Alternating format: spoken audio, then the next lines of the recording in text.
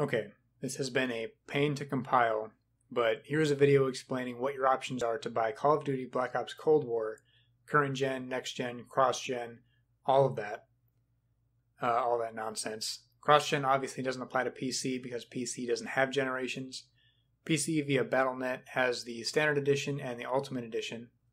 The cross gen stuff gets really messy and confusing, so I'll list the editions first and then go into detail on what you need to know for cross gen.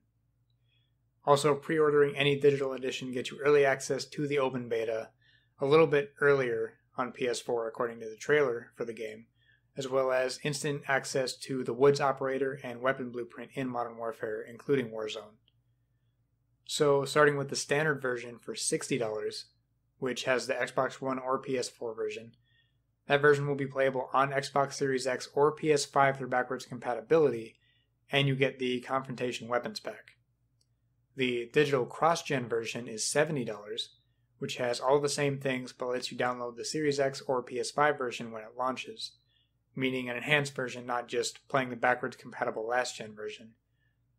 The Ultimate Edition, which is $90, also gets you the free next gen upgrade, and you get the Land, Sea, and Air Pack, which has three operator skins, three vehicle skins, three weapon blueprints, the Battle Pass bundle, which is the Season 1 Battle Pass plus 20 tier skips, and the Confrontation Weapons Pack, of course.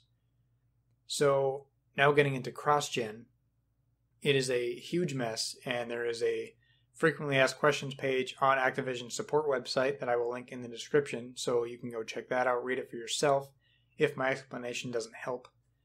Um, so, one thing to get out of the way if you buy a current gen version of Black Ops Cold War, Xbox One or PS4, it will be backwards compatible with the Xbox Series X and the PlayStation 5, so you will be able to play the game on your own new next gen console. The upgrades I'm about to talk about are the enhanced, built for next gen versions of the Black Ops Cold War with higher frame rate, hardware based ray tracing, faster load times, stuff like that.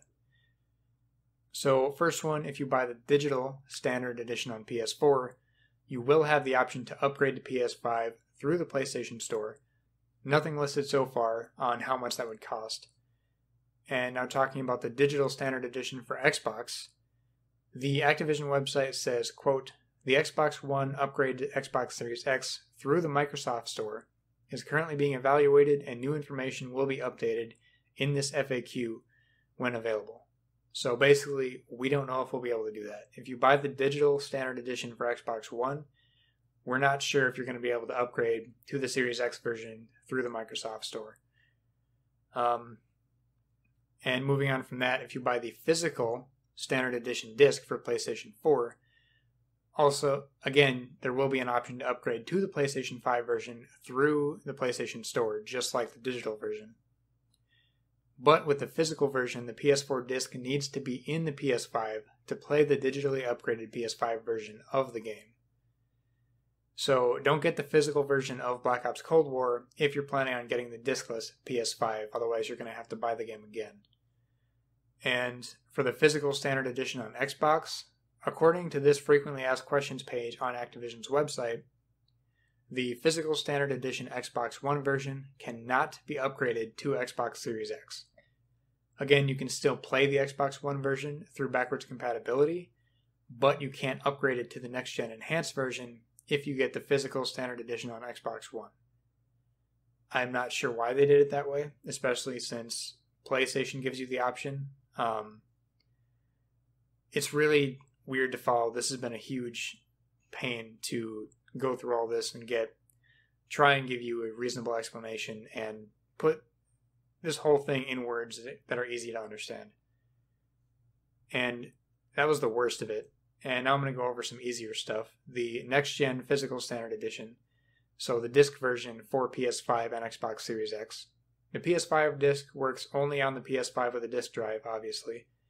For the discless PS5, you'll have to buy the cross gen version, which I'll go over in a second. The PS5 disc will not operate on a PS4. 99% of people don't really need to worry about that, but there you go. The next gen physical standard edition for Xbox Series X will work on an Xbox One. Again, most people don't really need that anyway, but there you go. We don't have a confirmed price for these, but I'm assuming they're going to be $70 probably.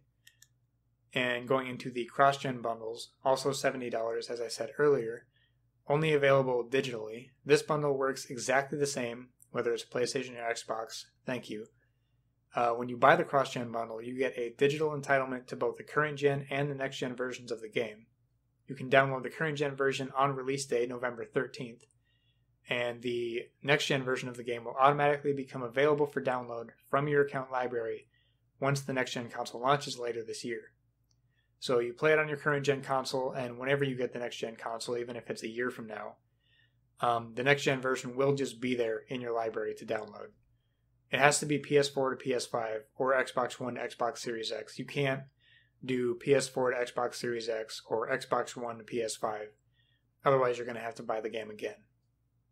Also, if you purchase the bundle on a next gen platform, you will receive the entitlement to the current gen version because why not, I guess, similar to the disc working on the Xbox One, um, the Series X version. So I hope that cleared some things, some things up or gave you all the information you needed. I will have Activision's frequently asked questions page linked in the description so you can go look yourself. And as always, thank you so much for watching. Be sure to subscribe to Update X here on YouTube so you don't miss any videos. Follow the show's Twitter and Instagram at Update X Show, or you can follow me on Twitter, Twitch, or basically anywhere else at The Only Resh. Thank you again for watching. Have an awesome day.